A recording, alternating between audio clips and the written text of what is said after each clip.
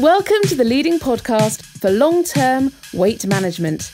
Subscribe to the podcast so that you don't miss an episode. You can connect with Jenny on all social media channels. You can also sign up to the newsletter to receive frequent content and tips for weight loss success. Hey guys, welcome to episode five of the Power Over Food podcast. I hope you're doing well. I hope you've had a great week. Just before I get going, just a reminder if you haven't listened from the start, if this is the first time you've listened to one of the Power Over Food podcasts, I strongly recommend that you go back to episode one, as I will be taking you on a journey.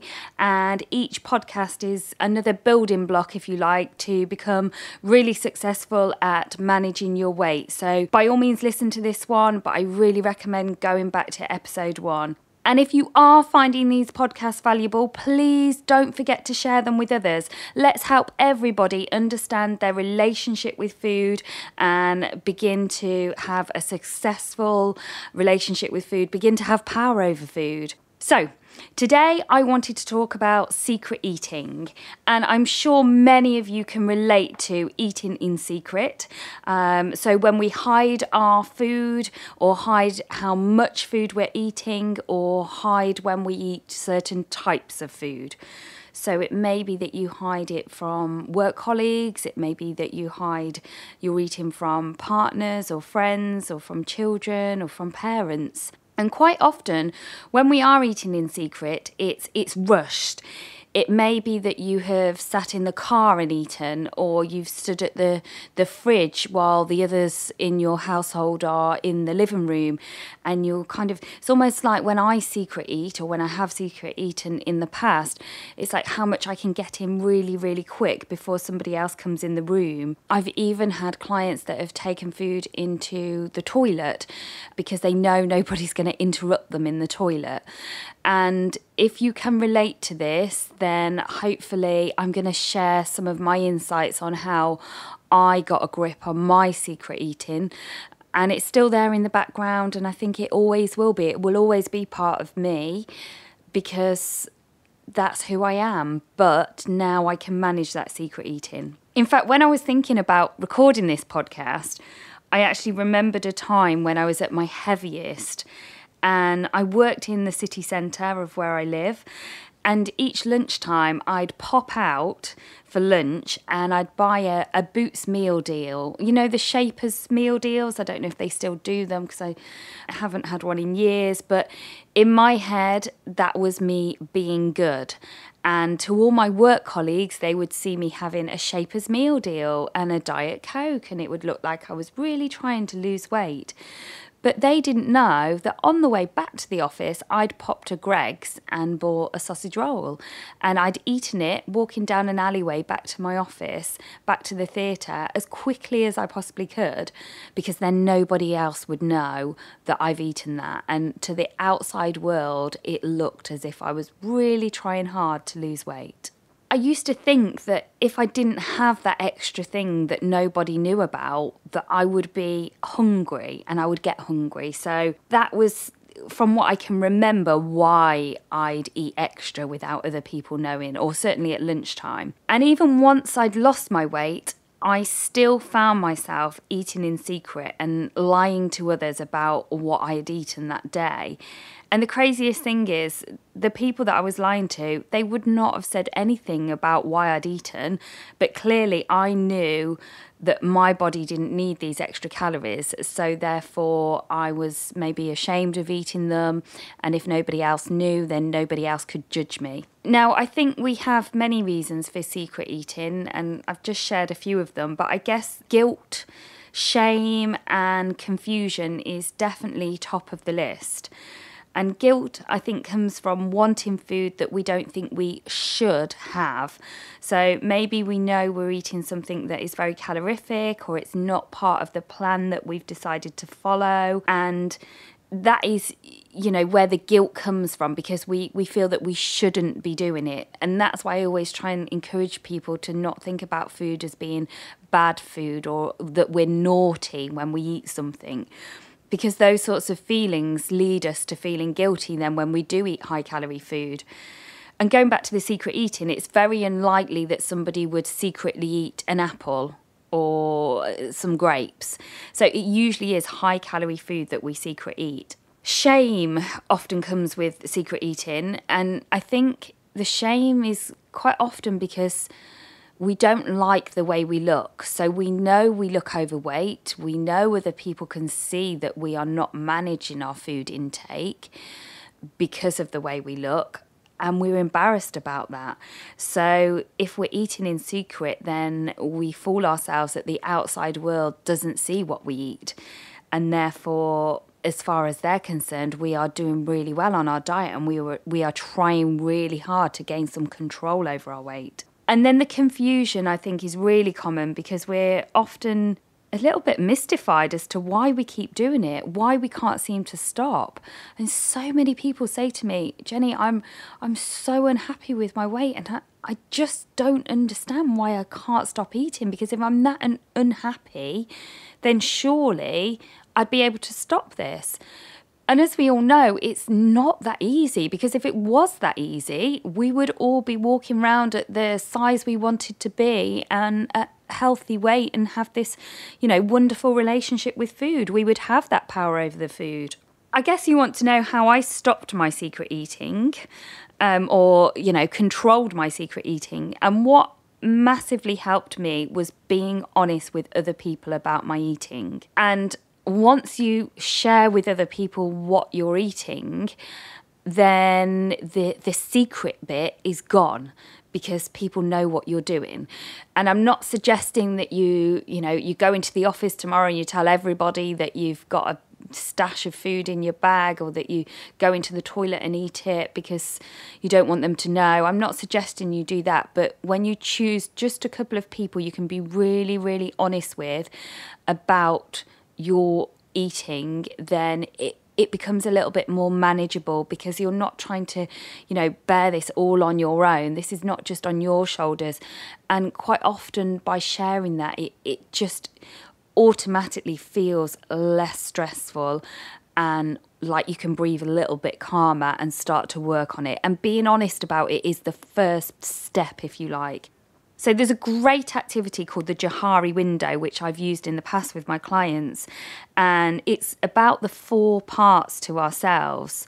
There's the open self, the hidden self, the blind self, and the unknown self. And you can Google this, Google the Johari window, and you will find loads of information about it.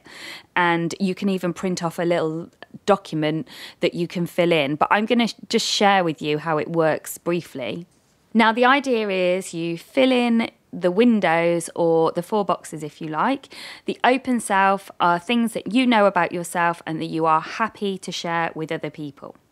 And then we've got the hidden self. The hidden self are things that you know about yourself that you do not share with other people. So, for example, when I was at my heaviest, my weight was definitely in my hidden self box. I did not tell anyone how much I weighed. And I would have been mortified if somebody asked me or if somebody found out. This is also where your secret eating would be.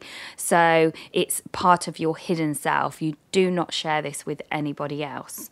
Then we have the blind self. The blind self are things that you don't know, but other people have noticed about you. So, people that are close to you, maybe your family, they have noticed things about your relationship with food. So, they may notice that you eat really fast, or they may notice that you often graze when you're preparing the meals because you've had a stressful day at work and you don't even realize how much you're eating, how many calories that you've actually consumed while you're cooking for the for the family. And there's lots of things when you start to ask people they might say, "Oh, I've noticed that you always say that you don't want any of this." And in your head you might think, "Yeah, that's because I've already had 3 of them." Or so just ask them. Ask people what do you notice about me and my relationship with food? They might say notice that you always turn down a shopping trip. And you might think yeah that's actually because i'm worried that we're going to go into the changing rooms and i won't fit in the clothes or i won't like myself in the clothes because they're too tight or they don't look the same on me as they do on the models or on my friends So that's the blind self. And then the unknown self is an area of self discovery. So it's things that you don't know about yourself, that other people don't know about you.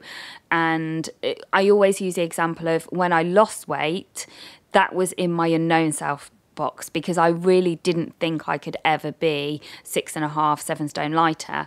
And once I began to lose weight, that was came up in my hidden self box, and I moved that into my open self box because I wanted to tell the world that I had lost weight because I felt so so good about it, so amazing about it. Now the idea is that you find out as much as you can about yourself and your relationship with food. And then you move as much of it as you can into the open self box. And the more open and honest you are about your relationship with food, the easier it becomes to manage your weight. And I'm going to share an example in a moment. But just as a, an aside note, when you're asking for other people about their thoughts about your relationship with food, make sure you talk to people that you can really, really trust, not people that might you know, not be so helpful. And obviously, ask on a good day, ask when you're feeling really, really positive about losing weight and maintaining your weight so that you can ask with an open mind and not feel that you're being criticized for what they may share with you and see it as a learning it is a it's a learning curve I'm going to wrap up this podcast by sharing a story with you, and this is called my chip shop story.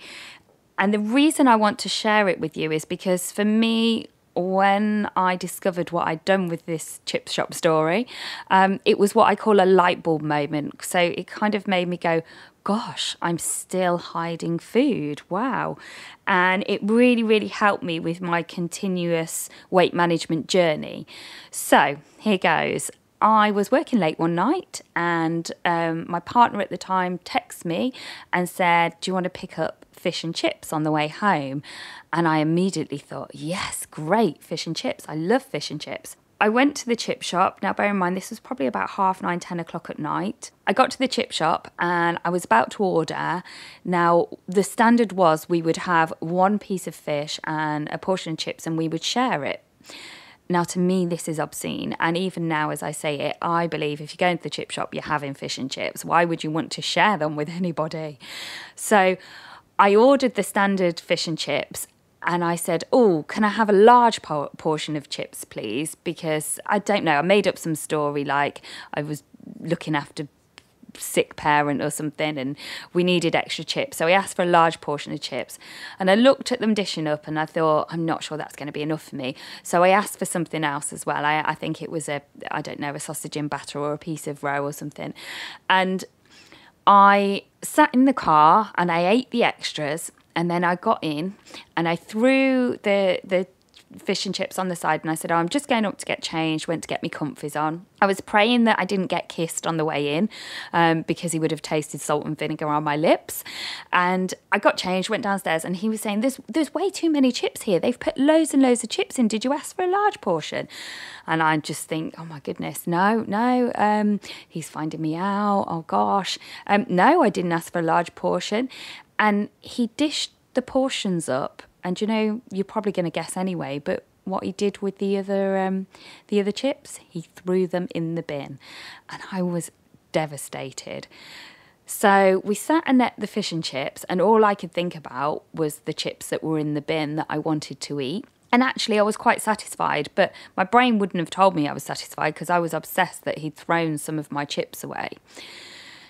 And it wasn't until the next day I was doing the Johari window activity with some of my clients. And I realized when I was talking about the hidden self box that the night before, my hidden self, my secret Eden, was there. And I just said, Wow, I'm going to share this story with you. And I shared it with my clients. And they said, What are you going to do? And I said, Well, I'm going to go home and I'm going to have to open put that into my open self box because that's what I encourage all of you to do when you're trying to learn about your relationship with food. So I went home and I said, "Can we just talk about the chips last night?" And I said, this is what I did. I, I ate in the car on the way home and I also bought extra chips because I wanted more food and you took them away. And he said, Well, if you wanted them, what then then why didn't you say? What and and he I guess he couldn't understand and what what he said was, if you were hungry, why didn't you say you needed some more? And that really made me think because the answer to that was I wasn't hungry. In fact, I probably wasn't even hungry to sit down and eat the fish and chips because I'd already eaten in the car. But it was my brain, my sloth brain, telling me that that wasn't going to be enough. And my sloth brain telling me that I'd worked till half nine at night and I deserved more food because I had worked late. It's not like I'd actually burnt any more calories to deserve them, but in my brain, everybody else finished work at five o'clock. I was the only person in the world that was working this late, and therefore I didn't deserved so much more food than everybody else. So that's my chip shop story. And by sharing that with my other half, it meant that I wouldn't do it again. So next time, not that I go to the chip shop that reg- regularly, but if I was to go to the chip shop, I would think, well, he knows that story now, and it's kind of like pointless doing it, and you know, I just I just wouldn't. So that's why sharing it and being honest with the people that are really really close to you can help you just have a, a, a little bit more openness about your relationship with food and hopefully stop that secret eating you know whether it's chocolate bars in the car whether it's sitting in McDonald's car parks whatever it is if you can be really honest with people then it helps you move forward with your relationship with food so that's it, guys. That's my chip shop story. That's a little bit about secret eating and the Johari window. Do feel free to, to Google it and have a look at it.